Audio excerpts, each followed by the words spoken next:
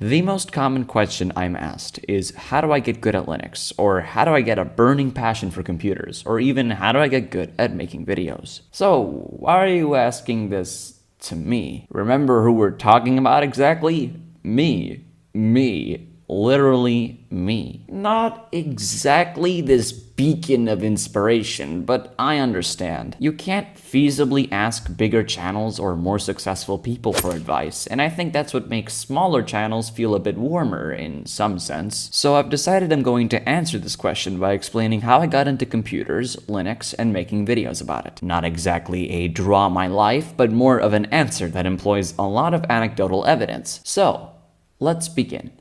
Musik I don't really believe in this concept of getting into things just for the sake of doing them or for any inherently useful reason. I didn't get into computers out of a desire to build a career from it, but rather because it fascinated me that using this device, I could create something like a slideshow that I could then share with other people. For me, ever since I was 5, learning to use PowerPoint on my dad's Acer running Vista, it's always been about making something with the computer. Sure, I enjoyed the occasional game of Flight Simulator, but I always viewed the computer more as a means to an end rather than a machine for entertainment. As I got older, however, it would take on a much more important role. Sitting in front of a computer is probably the best example of a surrogate activity, and this is exactly what my use of PCs was about to turn into. No, I wasn't suffering from cerebral palsy or physically bullied at school. I've always been a healthy and easily overlooked person who experienced far less bullying than I probably should have. A lot of personal losses along with trouble at school were building up when I was 10 or 11, and being an immature young child,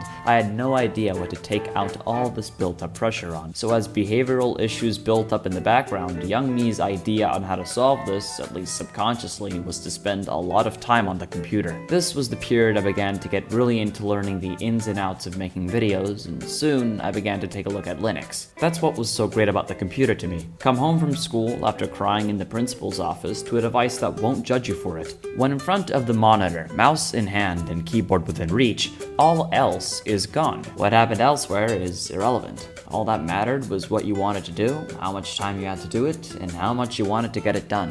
GIMP isn't going to care if you talked back to a teacher today, and Audacity isn't going to have an opinion on the death of a family member. Being so young and with no guidance on how to respond, this was my response to everything. Something bad happened? Cry, then get on the computer and work on a batch script in Windows. It was a destructive thing to do, but you can't blame an 11 year old for not knowing any better. So that's how I got really into computers, software, and tech in general general. I had the interest ever since I was really young, and it slowly developed into a coping mechanism. The months spent in front of one slowly built into a passion and intense knowledge about the subject.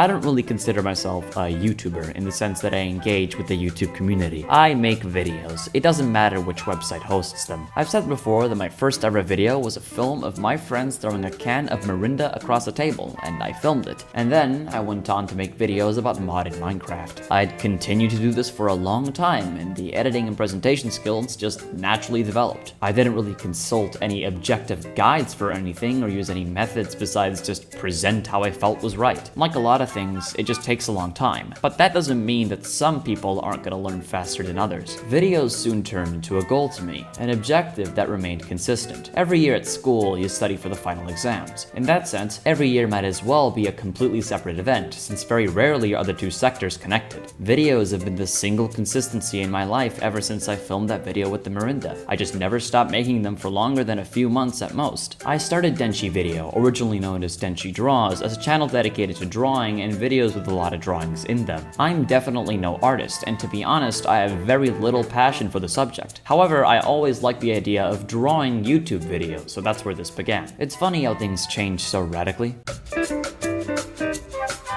Just Use was born out of frustration. I had recently been spending the last few months having friends and family have trouble with viruses, only for me to have to install malware Malwarebytes to get rid of the issue. I wanted to channel that frustration into a video that I could refer people to when they had virus trouble. I soon began to see the potential in a series dedicated to promoting software that was free of charge, which was mostly open source to boot. I was very surprised to see how much exposure I was getting from these videos, and so I doubled down and made a lot of them, all fueled by frustration just like the first one. As to what I plan to do with this channel, expect more of the same, along with a lot of much better videos too. Wide Web World's second episode is already written, and I plan to do many more movie and show reviews. Once again, I take suggestions, whether it be the YouTube comments or in the Discord server, so feel free to leave them in any of my videos. I check all of my comments, every single one. So yeah, I was Denshi, and this was my answer to your question. Goodbye.